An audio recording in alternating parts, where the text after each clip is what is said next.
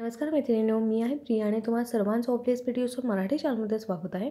तर आजच्या व्हिडिओमध्ये आपण पाहणार आहे त्या तीन क्यूट मिनी फ्लावर पॉटला घरच्या घरी कसं स्टाईल करायचं किंवा कसं बनवायचं किंवा कसं सजवायचं. ऑब्वियसली जे मातीचे पॉट तुम्ही पाहताय ते मी नाही बनवणार. तर तुम्ही हे जे वर गुच्छ पाहताय फुलांचे आणि पानांचे ते कसं बनवायचं आणि कसं स्टाईल करायचं हे आपण आज शिकणार आहेत. तर व्हिडिओची सुरुवात आपण आता लगेचच करूया. तर सगळ्यात अगोदर आपण बनवूया फर्स्ट फ्लॉवर पॉट आणि त्यासाठी मी यूज करेन हा ग्रीन बॉल ॲक्च्युली हा एक शोपीस आहे आर्टिफिशियल प्लांट आहे जो तुम्ही गार्डनमध्ये वगैरे ठेवू शकता किंवा लिव्हिंग एरियामध्ये ठेवू शकता. आणि हा दोन तुकड्यांमध्ये डिवाईड होतो. तशीच काहीतरी सिस्टीम आहे आणि पूर्ण जे काही पान तुम्ही पाहतायत सगळे पान तुम्ही डिटॅच करू शकता आणि परत अटॅचसुद्धा करू शकता. तर अशीच सिस्टीम आहे.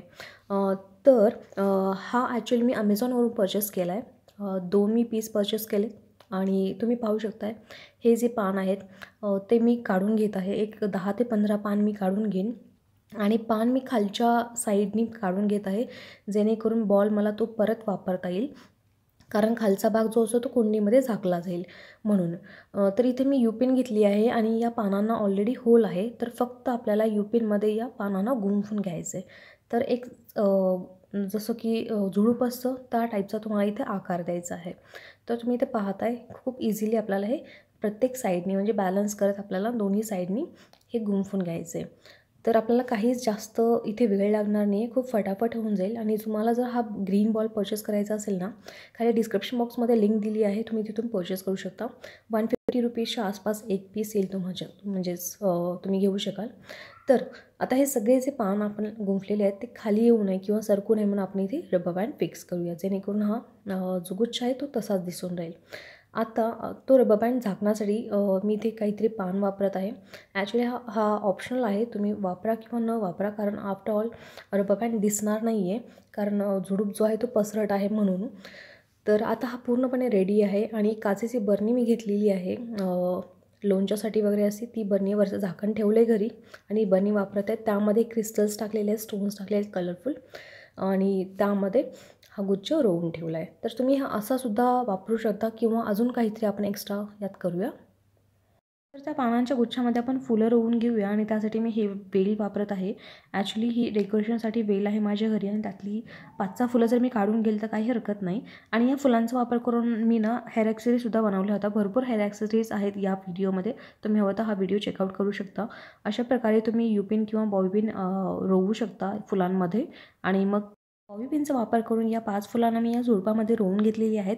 बॉबीपेनच्या ऐवजी तुम्ही जे टूथपिक असतं किंवा जे का काड्यापेट्यामधल्या काड्या असतात त्यांचासुद्धा वापर करू शकता आणि असा प्रतिम गुच्छ घरच्या घरी तयार करू शकता. तर आता आपण बनवूया सेकंड फ्लॉवर पॉट आणि त्यासाठी मी हा जुना फुलांचा गुच्छ वापरत आहे जो मी माझ्या घरी भरपूर दिवसांपासून वापरले.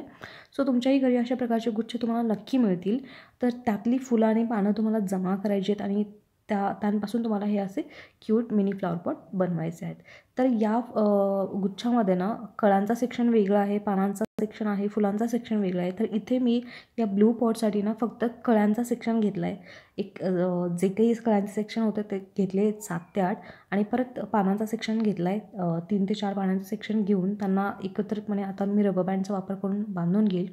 मी हॅसलचे व्हिडिओज युजली करत असते. माझ्याकडे रबर बँड युपेन्स बॉबेन्स भरपूर पडलेले असतात. सो मी त्यांचा वापर करत आहे. तुम्ही हवं तर रबर आप भाजीचा रबर बँड जो असतो तो सुद्धा वापरू शकता किंवा दोरानेसुद्धा तुम्ही हा जॉईन करू शकता. तर अगदी सिंपल पद्धतीने मी हा रेडी केला आहे आणि हा जो ब्लू पॉट आहे तो ट्वेंटी फाय रुपीजपर्यंत मी क्रॉकरी स्टॉलमधून घेतला आहे. ॲक्च्युली मी नाशिकमध्ये ना कुठेतरी सेल लागतो तिथे मी हा पर्चेस केला आहे. डोगरी वस्तीच्या तिथे काहीतरी. तर अशा प्रकारे हा सेकंड फ्लॉवर पॉटसुद्धा रेडी आहे. तुम्ही हा फ्लॉवर पॉट नक्की बनवा. बॅकग्राऊंडला नॉईस होते थोडंसं प्लीज सहन करा. आता आपण बनवूया थर्ड फ्लॉवर पॉट आणि त्यासाठी परत तोच गुच्छ मी वापरणार आहे कारण यामध्ये जे व्हाईट फ्लास तुम्ही पाहताय खूपच गोड आहेत. सो त्यांचा आता मी इथे वापर करेन. वर फुलं आहेत आणि खालच्या साईडला पानांचा सेक्शन आहे. तर पूर्ण असा सेक्शन मी घेईन.